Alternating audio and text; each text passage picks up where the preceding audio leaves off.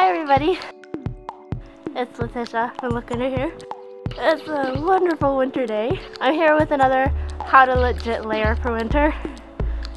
Cause as you can see, it's a little wintry.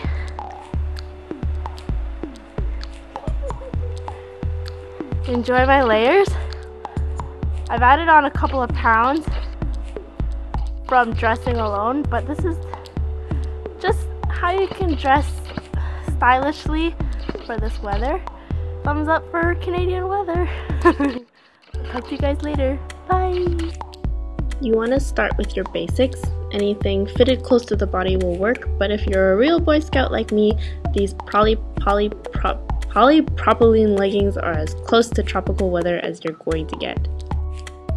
Double or plushy socks are really the only things I have to look forward to in the winter.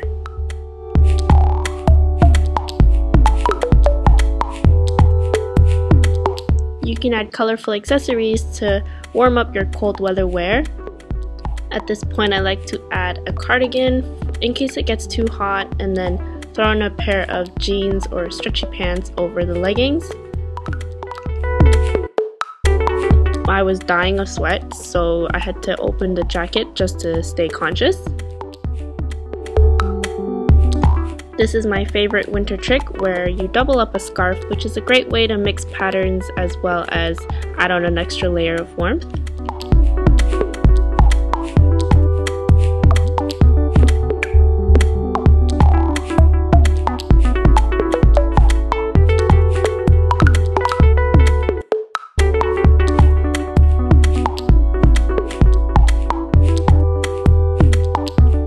Boots with treads are a must in this weather. Currently wearing a vest on top of a jacket is very popular, and things aren't fun unless you do it backwards, so I wore my alien vest over my coat. And now you guys are ready to rough and tumble in this frigid, frigid weather.